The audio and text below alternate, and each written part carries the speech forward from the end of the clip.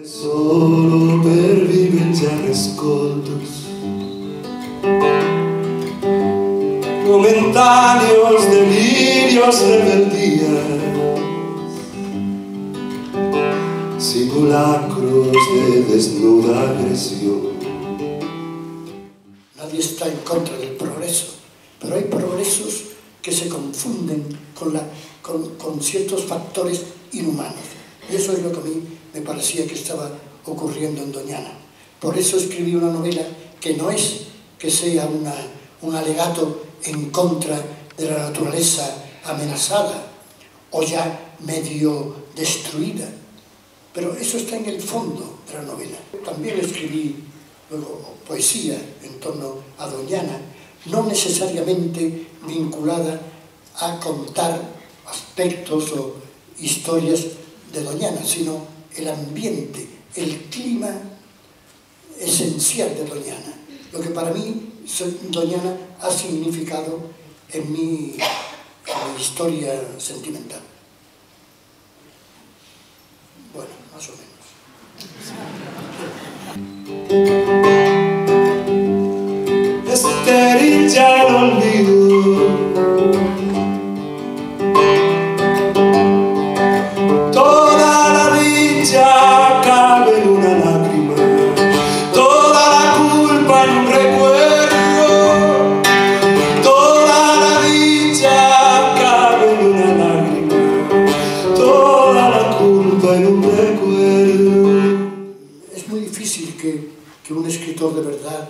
Sea una, secunde ciertas acciones del poder, o sea, uh, una especie de propagandista del el poder o de lo que de quien ocupa el poder en un momento determinado.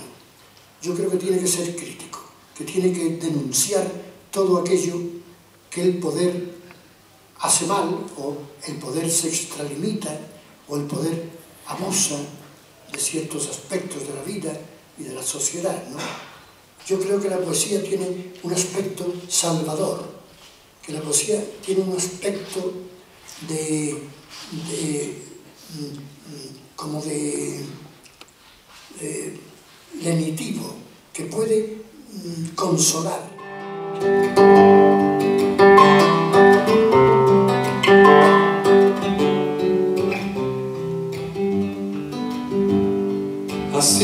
Carne yergue su gastada mentira frente al rostro fugaz de la verdad.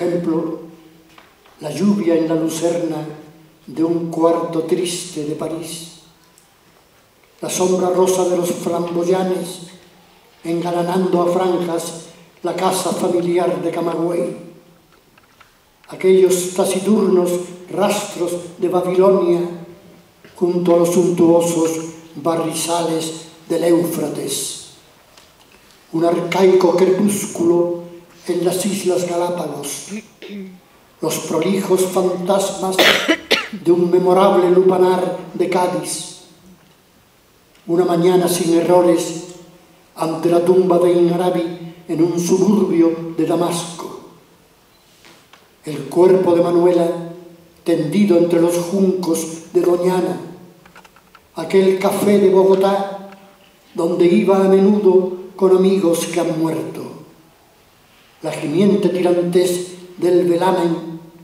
en la bordada previa a aquel primer naufragio. Cosas así de simples y soberbias. He recibido un correo electrónico de la biblioteca del Centro Cultural de, del Colegio Público de Palomeras Bajas, en que me habla de un poema de Caballero Bonal de su relación con los libros. Esa es una experiencia que supongo que los que estamos aquí ya le hemos oído hablar de vez en cuando, la experiencia de los lunes poéticos. En concreto aquí en Vallecas hay varios colegios. Las madres, en este caso del Colegio de Palomeras Bajas, seleccionan un poema los lunes, lo presentan bien, bien presentado, con un dibujo, con una ilustración, en un buen papel, no este papel en el que yo he hecho una copia del ordenador, sino en un buen papel y se reúnen a celebrar el lunes poético. Lo leo, de paso sirve como ilustración de cuál es la relación del poeta de Caballero Bonal con los libros.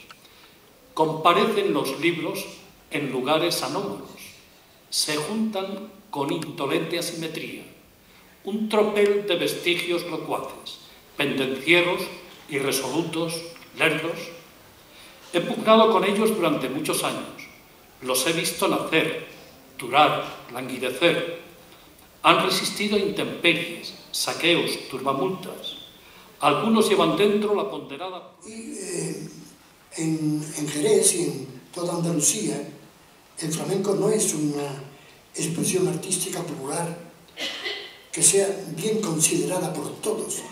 Hay gente que no soporta el flamenco, que incluso pensaba en aquella época que el flamenco estaba vinculado a la mala vida, al mundo tabernario, prostibulario incluso, y que acercarse al flamenco era acercarse a esa mala vida.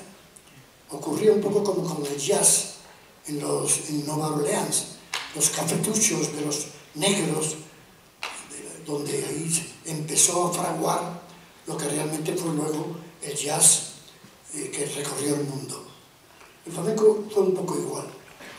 Y eh, a partir de ahí, a partir de esos primeros contactos difusos, eh, irregulares, pues yo tomé conciencia de lo que era el flamenco, de lo que a mí me importaba del flamenco. No se traspasó a mi poesía, o solo se traspasó en, en hechos muy puntuales, concretos, pero sí a mi, a mi entendimiento del arte popular. ¿no? Escribí sobre el flamenco, hice un archivo sonoro en seis discos de aquella época, microsurcos, se llamaban de larga duración, de lo que estoy especialmente orgulloso.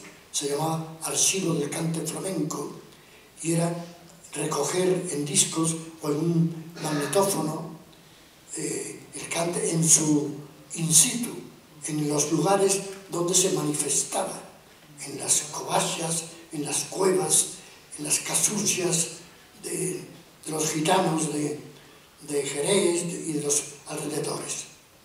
Y de esto surgió lo que digo, que me siento muy orgulloso de haber hecho que el archivo del cante flamenco, donde figuran mmm, interpretaciones de cantadores ya desaparecidos hace tiempo y formas flamencas que hubieran desaparecido también si no hubieran estado en ese archivo. De modo que esta, esta es mi relación, bastante intensa, por cierto, con el flamenco. Lo que pasa es que ya uno es muy mayor y las nuevas tendencias, las fusiones del flamenco con, con otras músicas, se caen un poco a mano. No es que esté eh, desentendido, sino distanciado. Porque eh, respeto, todo arte tiene que evolucionar, no se puede quedar estático. Lo que se queda estático en arte se, eh, se convierte en una entelequia, en una momia.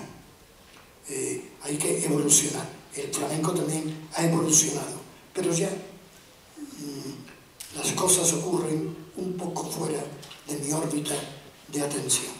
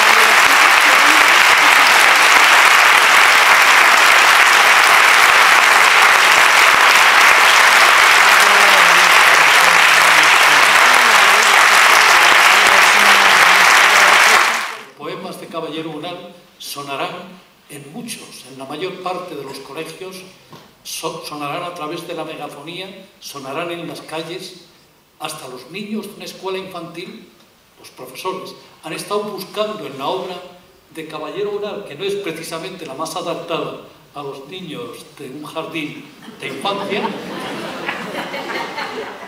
hasta los, los profesores de una escuela infantil nos comunicaron hace unos días que felizmente habían encontrado un poema con el que podían iniciar a los niños, antes de primaria, podían iniciar a los niños en el conocimiento y en el disfrute de la poesía de Caballero Bonal.